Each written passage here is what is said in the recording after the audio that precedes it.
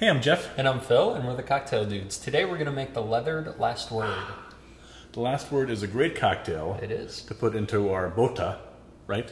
Our wineskin. B O T A. Sometimes I lapse into my native Spanish. but this uh, gin cocktail is very nice. The perfuminess from the chartreuse is a fantastic combination with kind of the leatheriness you get from the wineskin. Mm-hmm. Yeah, wineskin traditionally is for storing wine in and carrying it about when you're herding your sheep. I guess I don't know. but we thought, hey, let's age some cocktails in there. Exactly. We like Yeah. doing that in barrels, and we thought, let's try this with the wineskin. And so we have several cocktails that we're making videos on and that we've been experimenting with. Martinez, another gin cocktail. That's right. And a lot of brown cocktails too, like Manhattan, Old Fashioned, Yep. Toronto. Boulevardier. Right. We have a Negroni too, Yeah. another gin cocktail. And the, um, the botanicals from the gin and the leatheriness from the wine bag is very nice. Yep.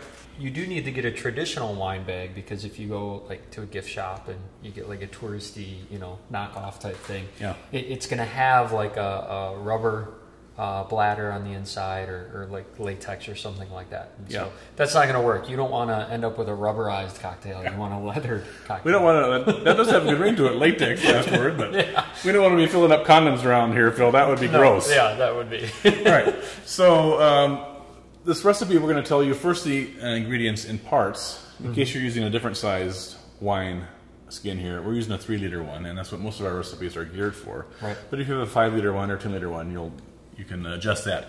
So you need one part gin, one part green chartreuse, one part maraschino liqueur, and then some sort of lactic acid. Right. Right. Traditionally, it would be an another equal part of lime juice. But that doesn't work well in a cocktail uh, aging barrel or in the Yeah, wineskin. it kind of goes flat and it's not. It doesn't have a good limey taste for a while. Right. So we're using Lactart, which is commercial brand of lactic acid, Mm-hmm. right? Which you can use, or you can just get lactic acid. Here, we get this from the brewery uh, supply shop, Mm-hmm. northernbrewer.com. It's four dollars for all this, and that lasts a long time Yeah. because it's highly concentrated. So you can use either one. If you're using the Lactart, which is 10% lactic acid, you're going to want to use five ounces per uh, bottle of gin. If you're using the 88% lactic acid, you're going to use a half ounce per 750 milliliter bottle of gin, right? Right. So it's simple for a three liter wineskin. You use one bottle of each of these, and then half ounce of this guy.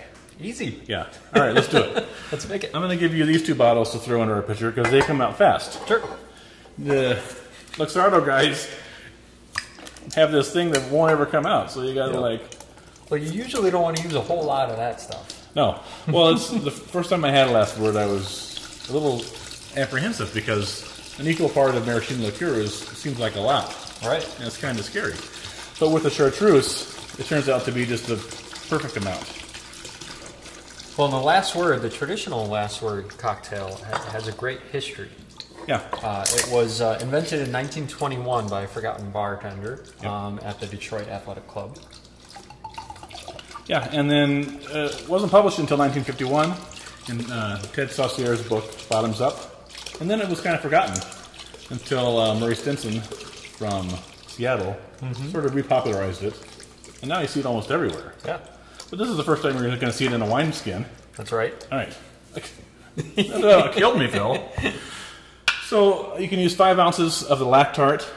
That comes from Canada. It's about thirteen dollars for this, but you got to ship it from Canada, so it's a little more. Right. Right. We use that a lot. We like it a lot.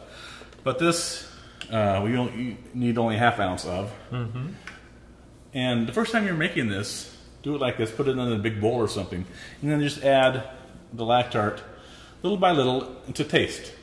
You may, you may like it a little more acidic. Lactic acid is a common food additive. It's in buttermilk and yogurt. It's what make makes Pringles taste so good, right? and uh, you see lactic acid in lambic beers naturally in high in high quantities. So it's a common thing, and it's sort of a subtle sour, right? Not real harsh, um, and it's great in this last word. And our barrel aged last word also. Jake Valianes up in, at Linwood Essentials in Toronto was the one that sort of clued us in on the lactic acid. Yep. All right, now we're going to just dump this into our wine skin.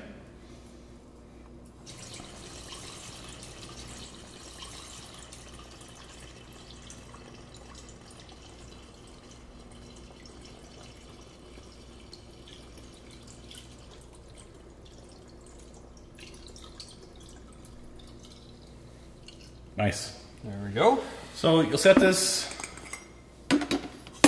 in the corner and forget about it. Yeah. You'll notice it changed the next day, though. You'll start tasting the leather. At two days for sure, um, and it'll be perfect at about four days.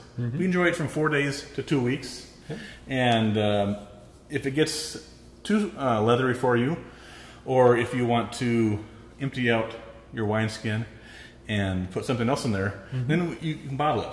You can bottle it in like one of these big bottles, or use a small six ounce bottle. If we're going to store it in the freezer, we put in a third ounce of water and then fill it with the cocktail and cap it. Because we're storing it in the freezer, you're not going to stir it with ice to chill it as you would a room temperature cocktail. That's why we add water. If you're going to store it on the countertop at room temperature in bottles, then don't add the water. Right. Right. Mm-hmm. Then to serve this, you want to pour about three ounces into a mixing glass. Add ice and stir it to chill, and then strain it into a coupe glass. And here you have your delightful, delicious, very fragrant, and leathery leathered last word. Enjoy. Cheers.